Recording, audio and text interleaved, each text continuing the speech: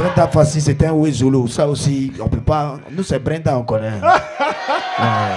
Il s'appelle Johnny Clegg. Vous vous rappelez de lui, hein? Donc, Clé Bahia, son Johnny dedans. Johnny Clegg. Clegg.